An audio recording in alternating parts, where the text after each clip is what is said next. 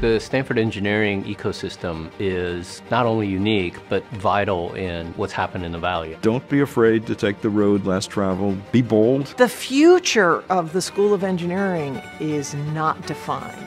Here at Stanford, we are working on bringing things that are thought of as science fiction to reality. Find a place where it's safe to fail and go for it. The accomplishments of the school and what it has become are breathtaking technology impact, social impact, industrial impact, and personal impact. Stanford has all these ways of bringing people together. Stanford engineering really has been the beating heart of innovation in Silicon Valley, and therefore it has affected the entire world.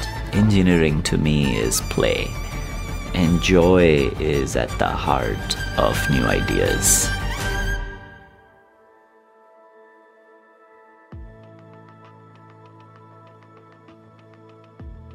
The Stanford School of Engineering is an entirely unique and distinctive school, and different, not only from other places within Stanford, but from anywhere else in the world.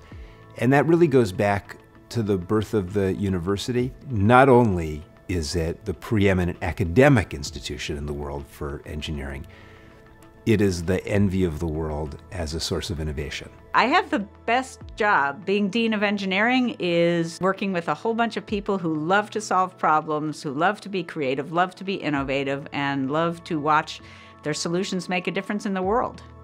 You look at every technological advancement that has come in the last hundred years, and you, you have to look where were the places where those innovations were birthed and came to scale and fruition a huge number of them is right here, Stanford School of Engineering.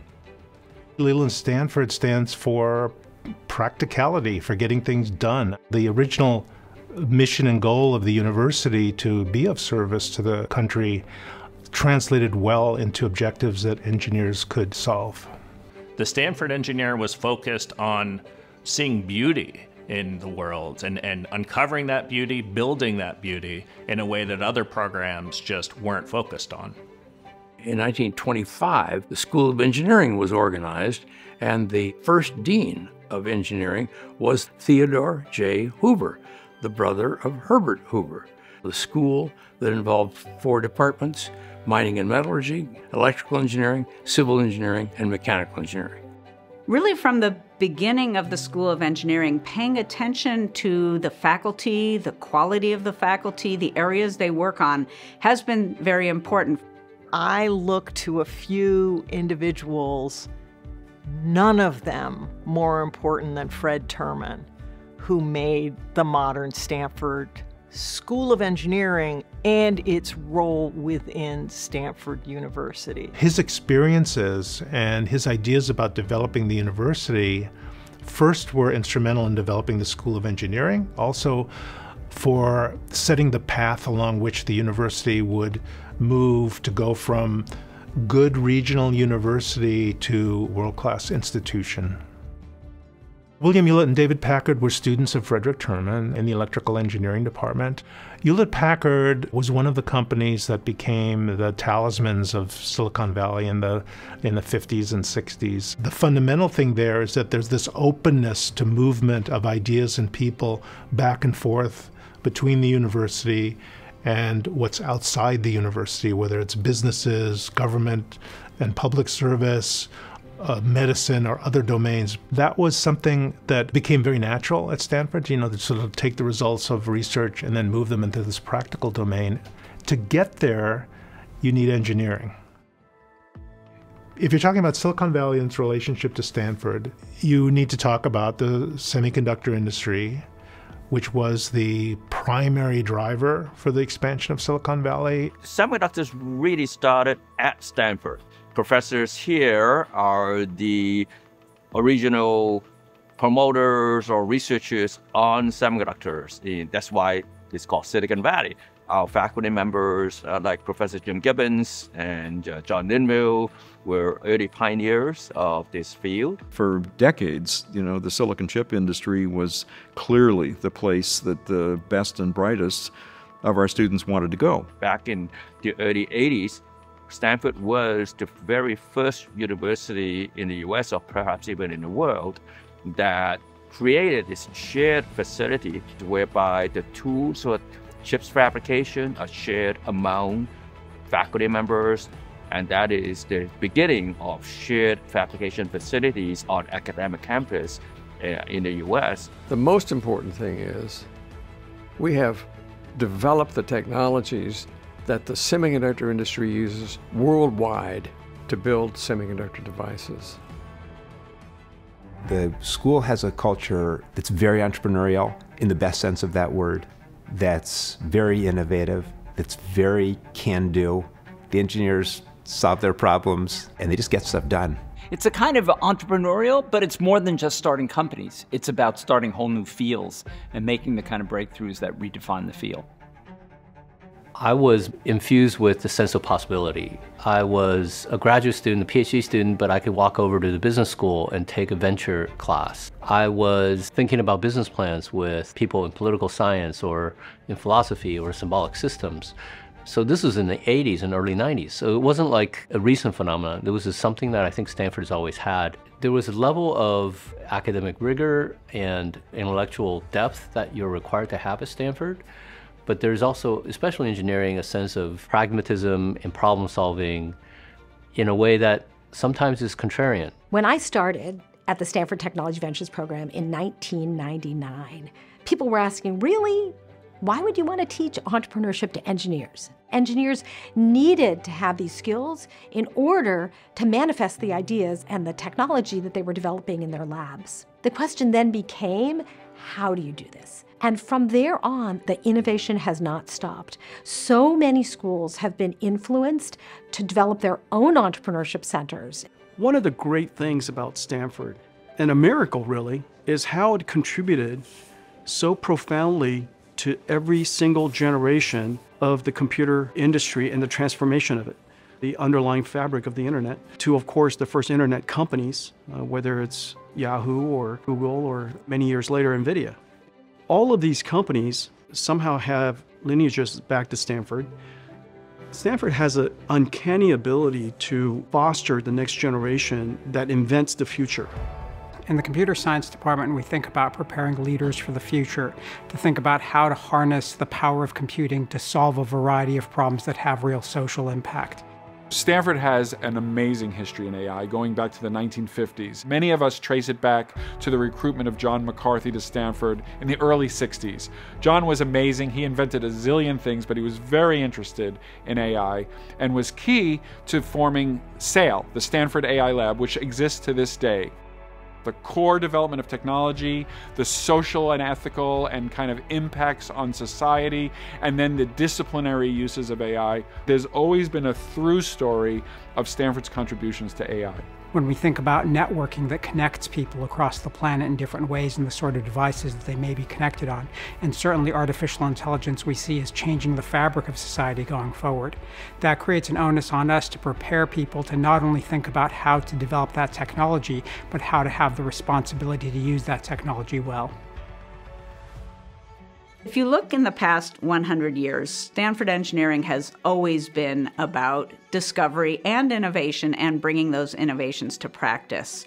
In recent years, our impact has really broadened considerably. And now, in addition to still making contributions to information technology, we make major contributions in areas like human health and sustainability of the planet we want to solve real world problems. And working with people at the medical school really gives us some concrete, real life challenges to try to address. As biology has evolved into a quantitative science, the School of Medicine has become more interconnected and intertwined with the School of Engineering. Today, more than a third of School of Engineering faculty have research collaborations with the School of Medicine. I was very lucky to come to Stanford because the ability to study computer science as well as biomedical science, both discovery and clinical delivery, was uniquely not only easy but well supported by the community at Stanford. Medical school is filled with people who are curious about engineering. The engineering school is filled with people who are curious about medicine. When I became dean in 1999, we began to think about this very differently than we had in the past specifically saying, could we create something which would bring something brand new to the School of Engineering that being a department based on biology as a science base, we also did something which was very different. Bioengineering became the first department at Stanford which is jointly managed by two schools, the School of Medicine and the School of Engineering equally. And since then, I think it's actually become a role model for many of our peer institutions. One of the characteristics of the engineering school has been the connections that get formed between faculty and students within the School of Engineering and other schools within the university. Sustainability and climate and energy, it really is one of our grand challenges. There are a lot of firsts here at Stanford, and I think this idea of taking on the next grand challenge of our planet, it just felt right at Stanford. Civil and environmental engineering was one of the original departments in the School of Engineering. And in our department, we study cities, the built environment, and we also study the natural environment and how humans affect those and how they affect humans. Wastewater monitoring for disease surveillance is already a public health tool that is here to stay. It is extremely rewarding to see that the science I do be used in practice. Every single project that I'm involved in now is a collaboration across departments, even across institutions, because you can't do it all. The Stanford Robotics Center is a great example of a new space where people can physically come together to collaborate on new ideas. These days, the field of robotics is so complex and multifaceted, no one field can really tackle it. So, as a mechanical engineer, I can work with people in aeroastro, in electrical engineering, and computer science in spaces that are designed for faculty and students to come together and be able to work on the same hardware and software in a location that's not separated out into one of our individual laboratories. We set a big goal, and then that requires teams from chemistry, chemical engineering, material science, bioengineering, mechanical engineering, electrical engineering, and nowadays also data science to all work together to solve these problems. When I became dean, I thought, okay, this is my opportunity to allow students to do what they want to do. And whatever their majors are, if they just put their foot inside engineering and find that the water's warm, then we'll be in good shape. It was part of creating an environment where students would think, there's nothing I can't do at Stanford. You know, for me, Stanford and Stanford Engineering, it's been an inspiring place just because of historically what people who have come before us have achieved. It matters to me a lot that we truly solve problems for billions of people through these sets of engineering solutions. I don't think technology is the answer to everything, but technology gives you an edge to then implement solutions in ethical and meaningful ways that reach all people. I think engineering has always been about solving problems and solving problems that are important to people. And I think where those problems are and where the opportunities are shifts over time. But the commitment to doing work which improves the lives of people and makes things better around the world has been a deeply held tradition in Stanford engineering. We really think about teaching as being something that helps people get ready for tackling big challenges in the world. And so we really put a heavy emphasis on teaching at both the undergraduate and graduate level to really prepare our students to come out of here to be leaders in what they do, to understand the interplay between society and technology, but ultimately to think about what are the ways that they can bring the power of engineering and computing to solve problems that are important in the world to solve. The goal of teaching is to change people's lives, expose them to an area that they didn't realize they were passionate about, and give them the start in that field.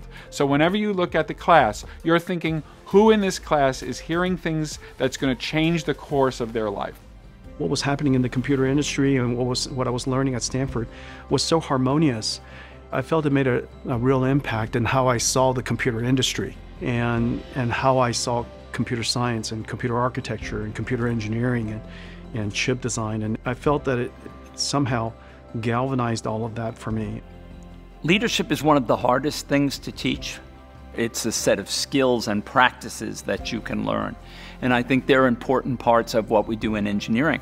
For example, teaching engineers about ethics because they are going to be operating in a professional capacity, helping them learn how to be careful, thoughtful decision makers, how to work with teams of people. There are skills we try to embed in the curriculum that we teach both our graduate students and our undergraduates. One important thing that's unique about Stanford is that students from any major can do their PhD thesis in any department they want. Uh, that's why in my group, I can have students uh, from School of Engineering, School of Medicine, School of Humanity and Science, uh, all in the same group. The future is also being somehow invented in Silicon Valley, right next to Stanford.